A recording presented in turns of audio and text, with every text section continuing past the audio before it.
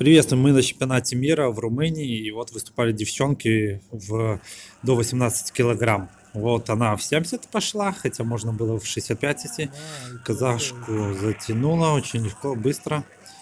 Вот, это еще одна попалась с Казахстана. И эта девчонка, она постоянно все...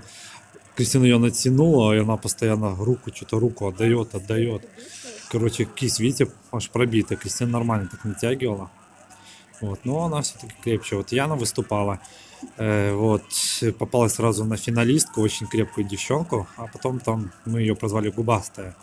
Вот, там что-то произошло непонятно, то ли Яна не стартанула, как-то вот э, растерялась и вообще ну, как-то растерянно чувствовала себя. Ну, бывает такое на чемпионатах мира, конечно, первый раз выступают и тому подобное.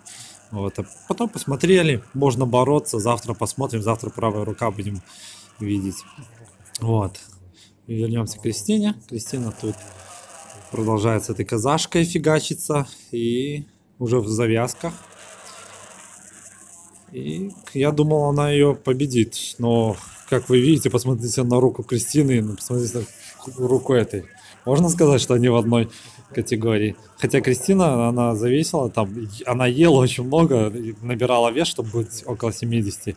И максимально там завесила 66,7. То есть, понимаете, да? То есть, вот эта казашка, они вот, как я не спрашивал, они по 5 килограмм сбрасывали, некоторые 8. Вот у Яны это губастая э, сбросила 5 килограмм, то есть ее категория 70 была.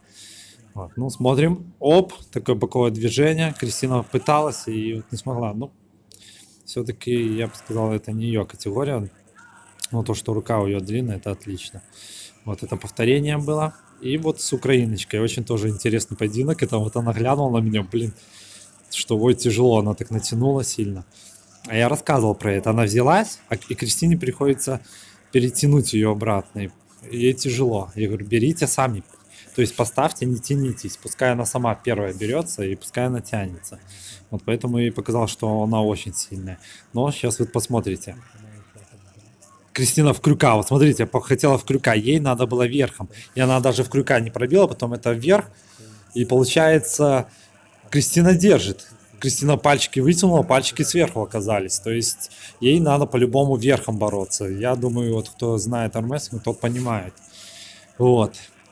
Это все, ну, какая-то небольшая неопытность. Вот опять я думал, верхом пойдет. Нет, она сейчас опять в крюк. Смотрите, бомбанула в крюк сдержала, поняла, что крюк это держит на крюк с пробитой кистью, еще ее держит. И это полностью пробила кисть и дотянула. Вот видите, ну первый опыт, завтра будет за правая рука, мы посмотрели, все отлично, держимся.